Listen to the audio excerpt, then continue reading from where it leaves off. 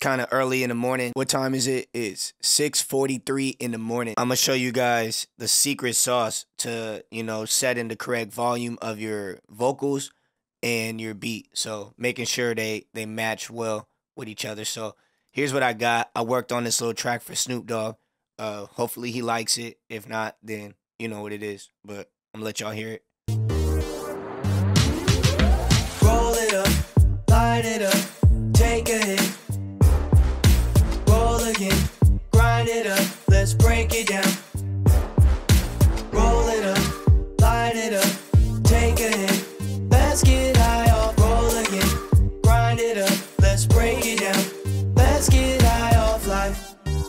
So let's get high off life. That's what it's saying. So um pretty much as you can tell, it sounds pretty good. And I'm gonna show you how I accomplished this. So um I do have a bus track for my uh vocals right here.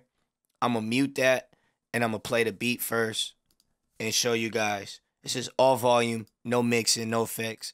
I'm just gonna tell you guys this. So like when I do it, I usually keep my uh beat track at like negative six or like negative like no less no more I mean than negative like five. So you see it coming up to like the six, watch. See right there. That's perfect for me. Like, and as you can see, the output is down here too. So around negative six. But then as you can see, it jumps up two to like negative one because of that bum bum bum bum bum. So I'm gonna throw a limiter on that, but not right now. Don't worry about that right now. So I just leave that blank. And then I go over to the uh vocals and I'm gonna mute the beat. Roll it up, light it up. Now I have this on zero, but you can see Roll again. that is like at the negative six also, but like I would say probably around like negative eight point one. Roll it up, light it up. Kind of between the negative six and negative twelve, Roll again. which is perfect. Grind it up. Now for this part, I knew I didn't want it to be too loud, so I knew that now. Well, we're going for the individual tracks. I got these on the negatives, just because I have a lot of amplification in my uh audio interface, as you can see in these waves. Like everything you can tell by the waves. So these waves are kind of matching these waves. They're just maybe a little bit smaller. So I kind of have these down instead of at zero. Um, I have it at like negative five point four, similar to negative six, similar to the beat, but I did not increase the vocal bus volume. So I'm gonna play it together, and you'll see how that just blends really well. Only a little bit. Roll it up, light it up. Take a hit. So all together, let's look at the master, the main, right here. Roll it up, light it up. Take a hit. Perfect. So we're gonna go up a little bit more, but the way we're gonna do it is I'm gonna double click this, go to the post.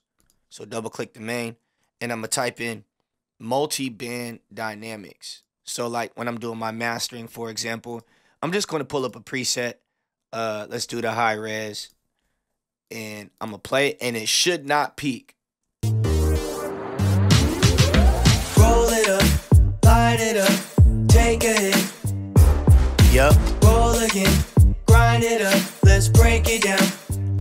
All right, so you're like, okay, cool, cool. It didn't peak. So now I can turn on my Pro EQ and like of the entire track, anything I want to like. This includes the beat and the vocals, like anything I want to higher up, uh, the highs a little bit. Now, uh, I made a video right before this on what to avoid, and you know when it comes down to mastering, you can bring your highs up over a little bit. Um, you you can do that when it's the entire master track just because sometimes you want everything to go up. You already did your individual parameters. Now you can do your highs and your lows. So you'll see that a whole lot when it comes to mastering a whole track. So the blue will be a little over here instead of over here. And that's fine on this. Roll it up, light it up. Take a hit. Roll again. Grind it up. Let's break it down. now you see one clip. Even though it's only one, you still want to get that out. So what I'm going to do is go back to my post, type in a limiter on my post. All right. Now I'm gonna go to zero dB because I do want it at zero dB. I'm gonna go to K14 so I can see the red.